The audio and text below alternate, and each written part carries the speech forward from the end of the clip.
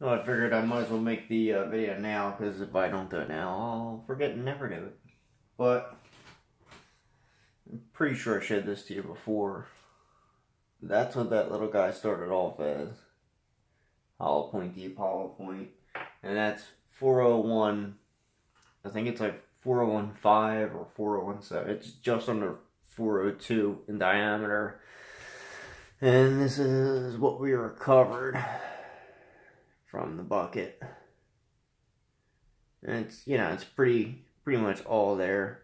Oh, and the weight on that is, um, shoot, I think it's like 178 grains. 178.2 with lube in it. Now this guy, I was really surprised by this number. 176.4. And I know it's it's kind of hard to believe. I didn't think it was going to be that good. Uh, let's see if I can see that. Sorry, I'm not used to this camera. 176.5. So there's that. And let's put the other guy back up there. That's 178.2. Uh, that's not the right one. Another one. That's a pure lead guy too. 178.2. One more. 178. Wow, those are really accurate. Holy chicken. So, there's not a, a ton of uh, weight lost on. Sorry, I'm get back on the tripod. There's not a ton of weight lost on that. Um, and surprisingly, the widest I could get it to measure, I didn't count this little ear right here because it kind of folded down. I kind of figured that was something something else going on there. And it's like, I counted that, and you can't really see it because my thing's broken, but I counted that as like 740 with 40 being right about here. Um, it's hard for me to get it in this stupid thing get it to stay. So even, hopefully it stays, don't fall. So it, it opened up pretty good. There's 745, I think that, there, 44 or something like that. It is right there.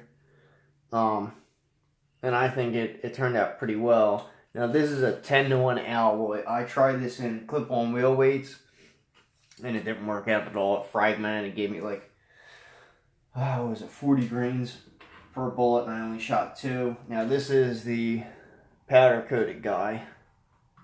Um, I couldn't find any other pieces to the powder coated guy. And my weight is only 36 grains on those two little pieces. And I figured it was going to be about under 40. Um, now, I only did one in powder coat and one in standard lube. I have more in powder coat waiting and ready to go. I might retry that um, just to proof the, uh, the load. And then I have uh, 16 rounds of the standard lube ready to go so I can try and proof them also. Um, so hopefully I can I can get all that stuff going soon and get it proved and make sure that I get the same results every time. Um, now, the big thing with me is I don't think the Wooders um, a valid, 100% valid test. I think the FBI standard is the uh, ballistics gelatin. I don't have access to any, and I do not have any at all. Um, if I can get my hands on some, that I might try it, or if I can send these to someone, then I might try it that way too. Um, but aside from that, I'm pretty happy with the water. I mean, there's other things I might be able to try, but for right now, I'm happy with the water. I just want to see some some type of expansion um, from from it and see what else I can do. Like if I can get less expansion with, because there's a smaller profile news uh, hollow point. That's a flat. Sorry.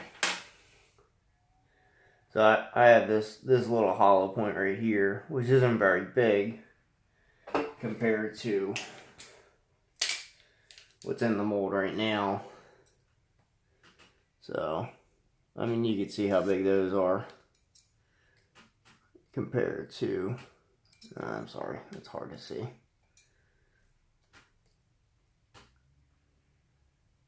So I might try these smaller hollow points and see if I can get anything. If I can get this darn thing to focus, I'd be really happy. See if I can get any different results with the 10 to 1 alloy. But I definitely think the 10 to 1 alloy is the one to, to work with. Um, and as far as lighting goes, I pulled the barrel down and there's no signs of lighting with one shot though. So that's kind of why I went around the 16 and see if there's any signs of leading after that. If there's no signs of leading, uh, I'm going to be pretty happy with it and probably load up a decent amount of them and see how many I can actually run before I see signs of leading or any accuracy problems or anything like that. Well, see what the accuracy is to begin with anyway, but uh, right now I'm just in the stage of trying to get the penetration and the expansion and weight retention I want. And after I'm happy with that, I'm going to try and work up the load and try and find a... Uh, accuracy node.